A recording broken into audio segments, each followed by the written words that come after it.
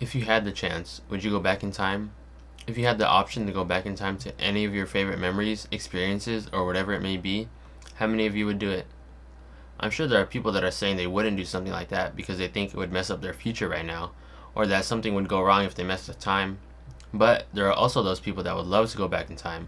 There might have been something that happened in the past that they would love to go back and relive, a mistake that they might want to fix, or maybe they just don't like the way that their lives are right now and would want to go back and change their actions so that they could have a better one. Whenever my family goes out somewhere, whether it be an amusement park, a fancy restaurant, another country, or anywhere really, they always try to take lots of pictures. I don't know if you're familiar with what I'm talking about, but at times it gets a little annoying. Just imagine walking around Disneyland, trying to rush for a ride because you know the lines are long, but your parents want to stop every 30 seconds because they just saw Mickey and Minnie pass by, or they want to take a cliche picture right in front of the castle. Pictures were the only things that my parents were into. Going on It's a Small World ride, my mom would always want to take a video of it whenever we would go on. The situation that we were in would kind of dictate what kind of media form my mother would want to capture. When I was younger and something like this would happen, I'd get annoyed and constantly ask them, why do we always have to take pictures? Or, why do we always stop to take pictures? I would always nag them constantly because they always want to take pictures, even though I didn't want to, or because I didn't feel like it. Maybe some of you can relate. I mean, it wasn't just me that was complaining. My older sister always had something to say too, and now my little brother always has something to say. Of course, as a child, I didn't think much of what my parents might be thinking whenever we're on these trips. I'm sure now that we're older, the obvious answer is that they're getting old and they want to be able to cherish the memories that they've had throughout their lifetime. I wish that idea was made even more obvious to me when I was younger, so I'd be able to understand how they were feeling. Over the course of my lifetime, I've been exposed to all sorts of photos and videos. I watch a lot of YouTube videos and look at a lot of pictures. I like to categorize pictures and videos into two different but general categories. There's category number one. Everyone is familiar to this. It's the movies that we see in the theaters and the pictures that we see online that are set up and staged. I'm not saying that there's anything wrong with it, but it's just what it is.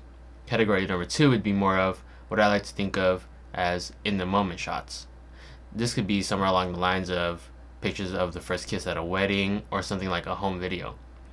The camera is there merely to capture the moment as it happens and not make something artificial. Although set up movies and pictures can be a depiction of something that is real, but technically speaking, it's not the actual moment that is happening. I've had my share of making videos, but I've also taken a few photography classes to expand my knowledge of videography. Earlier this year, I had a documentary project for my film and video class. My group had decided that they wanted to do a documentary about an individual that everyone on the campus was familiar with, but at the same time, nobody really knew anything about him. In one of our interviews, our interviewee talked about music. He said that he believed the music that we listen to is a soundtrack to our lives. The connection between music and memory. In 20 years, you could hear a song that you are listening to right now, and it'll flash you right back to the exact moment that you were listening to that song last. In a study conducted by Peter Janata in 2009, 13 UC Davis students listened to several music tracks. Their brain activities were recorded, as well as each chord and major and minor key that were being played within each music track. Janata created a map of each track in order to see the progression of the tones that were being played within each music track. What he had seen was that the map was being tracked inside of each participant's brain within the same region that the memory was being experienced. This experiment had concluded Janata's hypothesis that the brain region links music and memory. This connection between music and memory really intrigued me because, as a videographer, almost the same exact concept applies. The difference between photos and videos for music is that there is a physical representation of that memory. That memory doesn't necessarily have to be a good one, but it's still a memory regardless. If you're looking at a video or photo from that category number two that I was talking about earlier, that is the exact representation of a memory, and even with that category number one, although it might not be the exact memory, the feelings that the creator wanted to induce could cause the person watching to flash right back to a memory. Take more pictures and videos, whether it be category number one type or category number two type that I was talking about. These are the things that we're going to look forward to once we get older, being able to cherish the memories that we had in the past and hold them dear.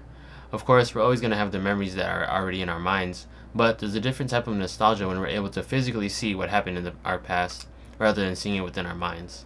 I think back to the way that I was towards my parents, although at the time I thought my actions were justifiable since we were at Disneyland for a reason and the lines were really long. The lines at Disneyland are always going to be long, but the rides are always going to be there.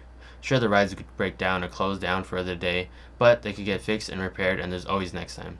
As humans, once we break down, there's no repairing that can be done.